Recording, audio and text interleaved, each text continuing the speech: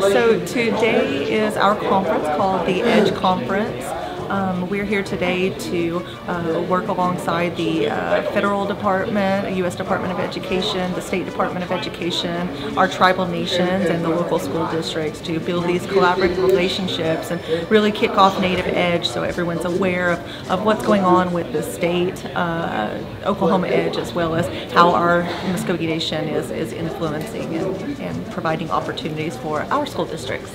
The Muscogee Creek Nation has been a leader in investing in teacher professional development around working with children that have had hardship, uh, abuse, and neglect in Oklahoma classrooms. Um, in, in outside the classroom, inside the classroom, we know that all of this matters and affects kids. I like to say this: the world outside the classroom impacts the world inside the classroom. Well, we were fortunate enough to receive the State Tribal Education Partnership Grant in, in 2016, and it was really from there that our work started growing and uh, um, expanding into what it is today. We're in the process of building a department, or excuse me, a program, the Education Development and Administration, and, and in 20 17 is when we started the tribal consultation process with our LEAs, our, our school districts. And out of the 67 school districts within our tribal jurisdiction, 33 of them are now mandated to